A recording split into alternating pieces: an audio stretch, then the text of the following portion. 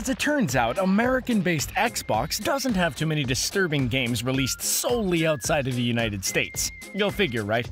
That's okay though. Japan doesn't have a trademark on weird. While deep in research, there were too many disturbing games to pass up, especially when peeking into the now defunct Xbox Live Indie store. Maybe these games were too disturbing for America after all. Before we get into this video, be sure to subscribe to The Gamer and ring the bell to stay up to date with all things gaming. Here are 10 Xbox games too disturbing for the USA. Number 1. Gal Gun Cupid has a tendency to be a complete ass. Apparently in this game, he's got angel apprentices, also known as a weak excuse to drive the plot forward. Long story short, this apprentice accidentally shoots this poor kid with several Cupid arrows. That doesn't sound like an accident to me. It sounds like a lawsuit. Anyway, this poor kid is now being hunted down by all of the lovesick girls in his school. Okay, so not so bad. Oh, wait. He's gotta find one of four true love girls by sunset? What happens if he doesn't? He'll be forever alone for life? Number 2. Metal Wolf Chaos. Ah, Japan exclusives. What could possibly be weird here? Everything! So there's a new civil war in America in the 21st century. You get to play as Michael Wilson, the fictional president of the United States, who also happens to be a relative of 47th President Woodrow Wilson. So you and the Vice President Richard Hawk, Dick Hawk, uh, work together to fight the insurrection. You know, just like the real Civil War. Right. You're an unstoppable patriotic team right up until old Dick Hawk tries to usurp you. Stay in your lane, Dick. You are not the president elect. So the rest of the game is you as President Michael Wilson in a mechanized suit of armor known as the Metal Wolf reuniting the nation. I uh I don't have anything bad to say about this game. I actually kind of want to play it now. This is patriotic as f- Number 3. Try not to fart. Uh pretty sure the title says it all. Have you ever found yourself on a date conversing with a beautiful woman when your gut starts to rumble? You've got smoke blowing around the bear, and one wrong move could unleash a wicked cheek flapper. This game's all about keeping that thunder from down under in your booty. Your date will notice if you attempt a two cheek sneak, and over time, a brownish haze will fill the screen if you've unleashed one too many ghost turds. The worst part about this game, the dialogue sounds like you started 10 different conversations with as many NPCs as you could find. Number 4. Mount your friends. Oh, what's better than a couple of greased up muscle men in banana hammocks? Think about their oily, greasy pecs. Think about them! Got an answer yet? Okay, I'll tell you. Stacking them. Taking their veiny, sweaty bodies and just piling muscle men upon muscle men. Watching them slip and slide all over the place. Muscles pressed on muscles. Multicolored banana hammocks building a sleek muscle toned tower to heaven. For those of you who are very, very interested in this game, it's still available on Steam. Number 5. Techno Kitten Adventure.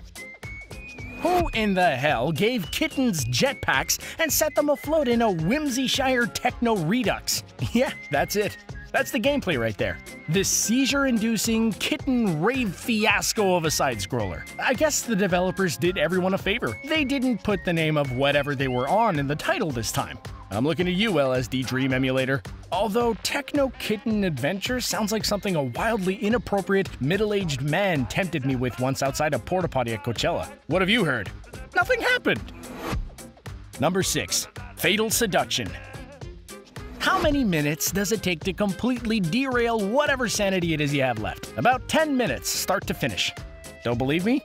Fine! Go ahead and play this terrible side scroller from Silver Dollar Games. Let me give you a little forewarning, though, a legal disclaimer, if you will. The game is a flashback from a female mental patient. Why is she in a mental institute? Oh, an angel straight up told her to kill her dad's girlfriends. Why? Preventing the birth of the Antichrist. Duh! So the bosses are fetuses. Did I mention that the girl narrator is about 8 years old? Let that sink in. Number 7. Cute Things Dying Violently. They probably should have called this Making of a Young Serial Killer the Game. I kid, I kid! You're actually supposed to not let the cute things die horribly violent deaths like being sawn to pieces or driven downward into giant sharp spikes. Sure, the blood splatter is kind of pretty and no, no, I will not fall victim to my cute aggression. The whole idea is to keep those meaty little hunks of adorable whatever it is they are in one piece. So what's with the title then? Did the developers know that we're all twisted maniacs at heart? Number 8. Don't be nervous talking to girls.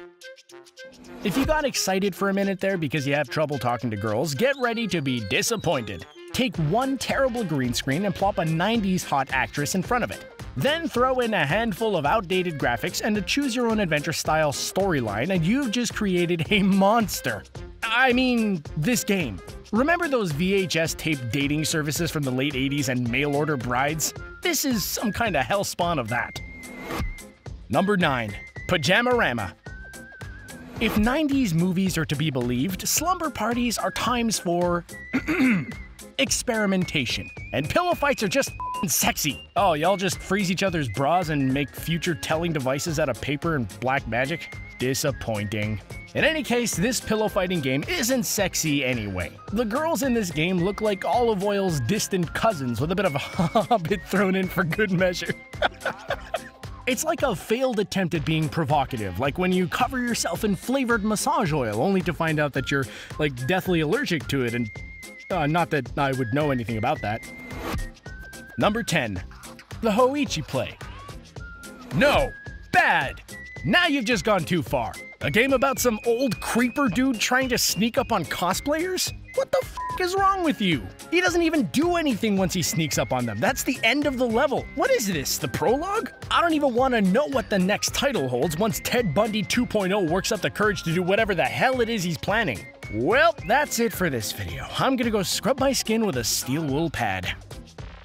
What's the most disturbing Xbox game you've ever played? Do you want to play any of the games on this list? Let us know in the comment section below, and don't forget to click that subscribe button so you can keep up with all of our videos. Thanks for watching.